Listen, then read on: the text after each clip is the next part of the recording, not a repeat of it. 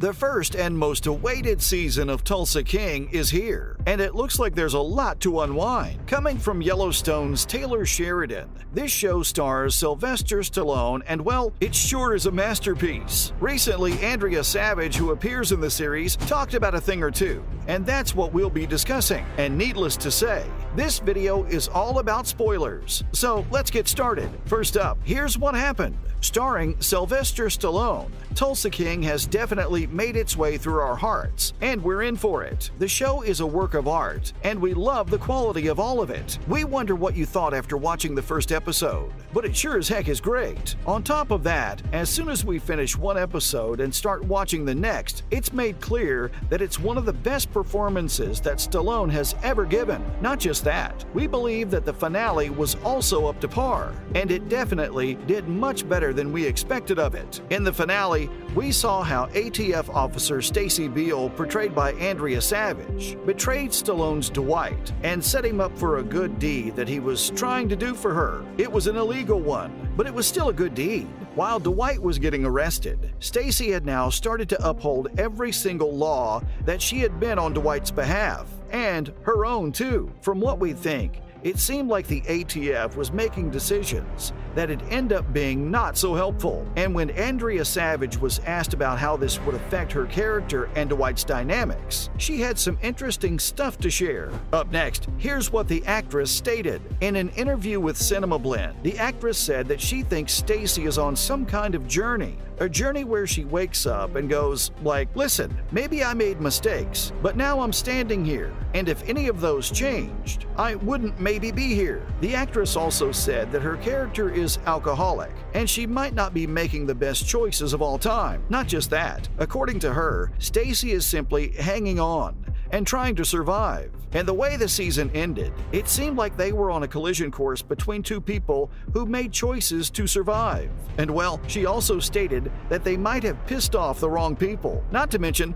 they might have pissed off another person. Following up, who is this third person? While we already know the two people Savage was talking about, we'll have to do some digging to know who this third person was. If you remember the scene where Dwight was being arrested and taken away, there was someone who witnessed all of this, and that was his daughter Tina Manfredi, who had already lost a long time that she could have spent with her father, and now she was shocked that the same thing was happening yet again. After all, she had to spend 25 years without seeing her father since Dwight was up the river. She was scared and horrified in that scene and was continuously staring at her dad when they took him away in the squad car. And when she had asked him about the entire situation, he had simply gestured toward Stacy, saying that she should ask her about it. While she spent 25 years silently growing up without her father, it doesn't seem like she'll be spending any more time like that. Tina might end up making things a bit more complex once we see her again. Not just that, Savage also talked about Tina's character. The actress was asked whether her character had her hands full with Tina, who's definitely vengeful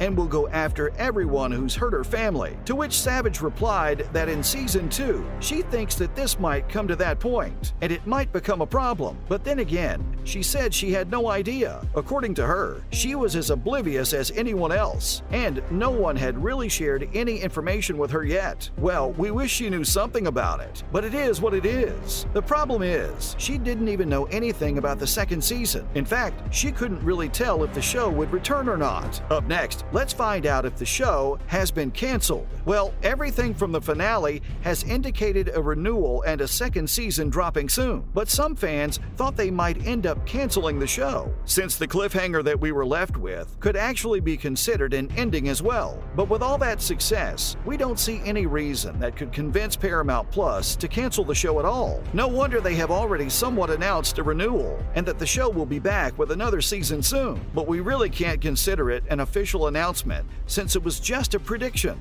Paramount executives had predicted that this show would make it big, and well, it definitely did. And became Paramount's second biggest show. The only show that's ahead of it is 1923. Now, let's have a look back at the first season. Don't say that we didn't inform you beforehand. This video was going to be all about spoilers. And to understand what the second season would look like, we must look into the first season once again. The season features Dwight Manfredi, who's just gotten out of federal prison after spending 25 years there because of a murder he didn't really commit. But now he's all alone since his mafia family and his real family both don't want or need him around. Because of all this, his boss sends him to Tulsa, where he's supposed to get a fresh start. But going there all alone seems wrong to him. Yet still, he somehow manages to go and then introduces an old school New York City mobster swagger to the locals. There, he goes on to set up a team for himself. This team or crew includes a former Invernizzi soldier named Manny and a driver named Tyson. Manny had left his life behind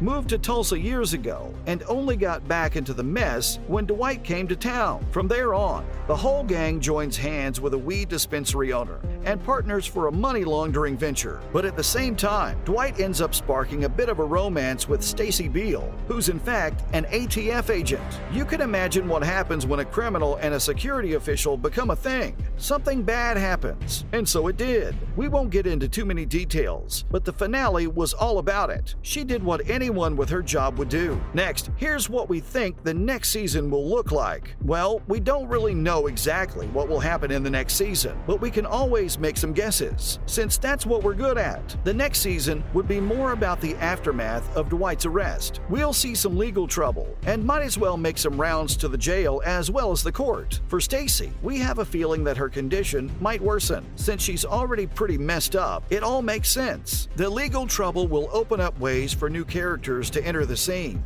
and at the same time, it'll also allow the show to explore some new storylines. Yeah, you got it right. We might end up getting some new cursed romance as well. So hold tight. On top of that, we're not expecting Chickie to be disrespected by Dwight. Also, Dwight won't be able to walk away from his past and his family easily. The conflicts that were not at their peak in the first season will rise up to boil out of the pot, and this might give us a bigger mess to witness. So the second season will tell us all about the extremes to which every one of the characters can go, especially Tina. We wonder if she'd turn into the villain or something. Following up, here's what we know about the potential release date. For now, we don't have an official release date. Well, you might think we have some rumored ones, but unfortunately, we don't even have that at the moment. The showrunners haven't even hinted at it yet, but we'll make sure to update you about it as soon as we get some information. The first season was officially announced and confirmed back in December 2021. They took their time and started filming in the summer of 2022, and we got to watch the show in November 2022. So it's safe to say that the show really didn't take too long to be filmed and released. Given the pattern,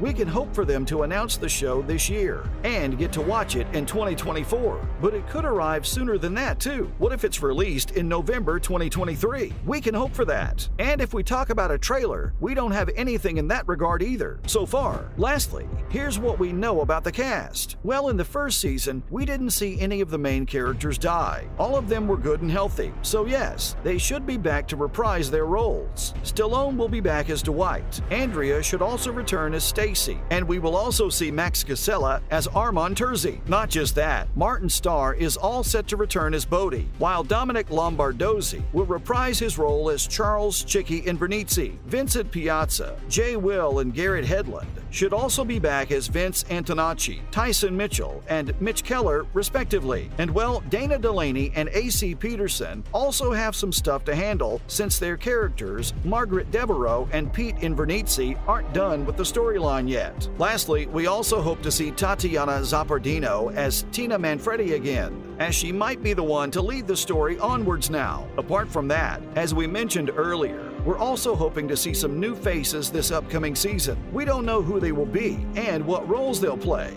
but it's a given since there must be some addition to keep the story going. And with this, it's time for us to wrap it up. What do you think about this video? Let us know in the comments below. Also, don't forget to hit those like and subscribe buttons. We'll be back with more amazing videos soon. See you in the next one.